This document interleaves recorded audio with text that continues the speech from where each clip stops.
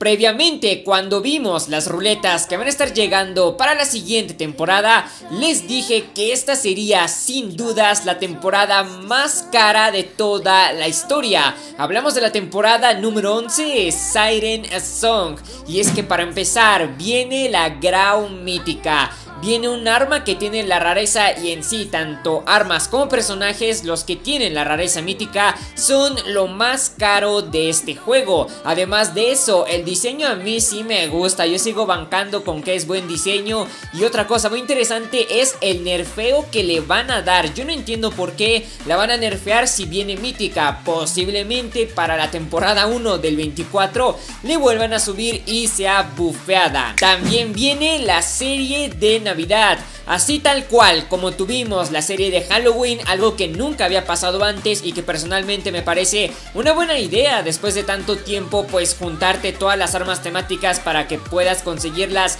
entre comillas más fácil pues ahora van a ser una con Navidad. Solo que la diferencia es que no son cuatro armas sino seis armas y esto por lógica hará que el costo aumente, aunque eso sí, es cierto, también dependemos del factor suerte de qué tan rápido te salgan las cosas, porque anteriormente a varios les salió muy rápido mínimo un arma, a mí no por cierto, y otra cosa es cuántas quieres, si es que las quieres todas o no, pero al final puedes sumar a esta lista. Y la sirena mítica esto también es algo que nunca había pasado, nunca habían juntado un personaje mítico junto a un arma mítica y ahora lo van a hacer. Esto tiene un costo muy grande, de por sí el personaje mítico es lo más caro en cuanto a ruletas y esto es porque te juntan la rareza mítica en el personaje, pero también te dan un arma normal legendaria, es como una combinación de ruletas. Así que con estos tres factores es que la temporada será la más cara sin contar las otras ruletas, por supuesto.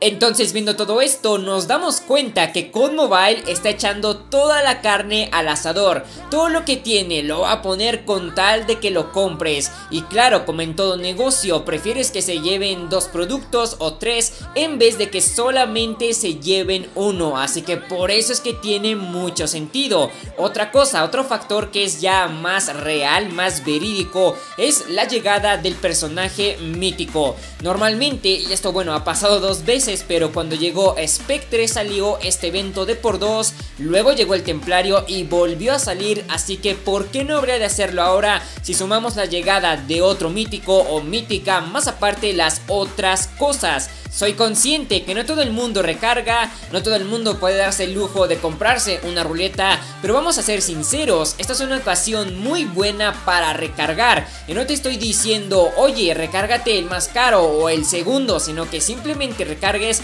porque te van a dar el doble. Además que no es necesario utilizarlo ahora, sino puedes hacerlo en la temporada que viene, en la que viene o cuando prácticamente tú quieras.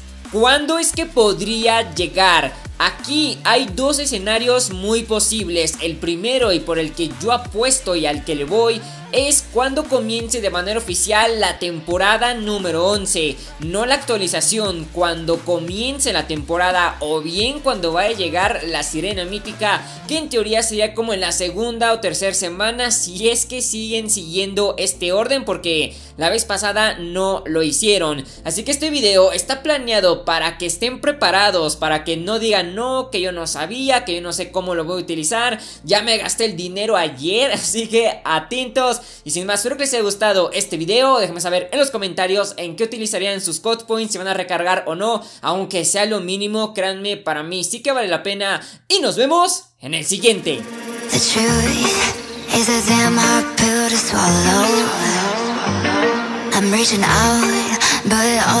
truth is